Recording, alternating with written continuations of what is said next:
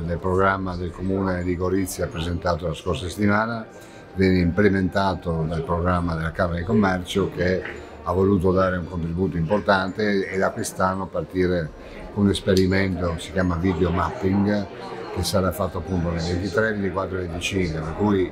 oggi abbiamo presentato uh, la musica in tutta la città, la filodiffusione che darà un po' di calore e allegria alle feste natalizie, avremo per la prima volta un mercatino con le casette di legno che quest'anno partiamo l'anno zero, poi via via nei prossimi due anni verranno implementate, ma è già un buon inizio. E la chicca, la chicca è quella di usare l'intelligenza artificiale per raccontare delle storie. Quest'anno racconteremo le storie di Sant'Ignazio proprio perché proietteremo sulla facciata della chiesa eh, il racconto di Sant'Ignazio, di come è stato creato, nel 1400 quando è nato, fino ad arrivare ai nostri tempi, poi racconteremo la storia delle suore Orsoline e della scuola di Merletti e racconteremo della Gorizia del Settecento, tutto in modo fiabesco per aiutare bimbi e adulti, per cui direi che è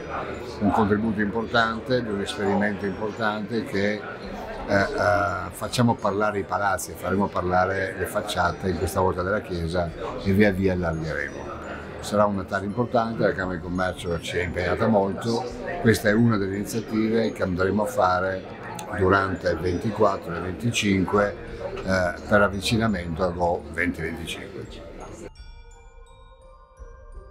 Senza dubbio un Natale con effetto wow, come piace dire a me, grazie a una rete eccezionale che è stata fatta tra Camera di Commercio, Regione, ERPAC, Comune,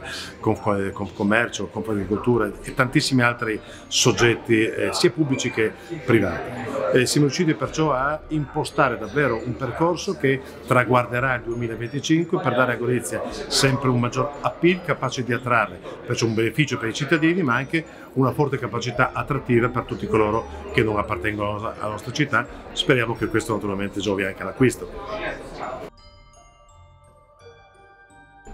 Sì, diciamo che sono molto contento che venga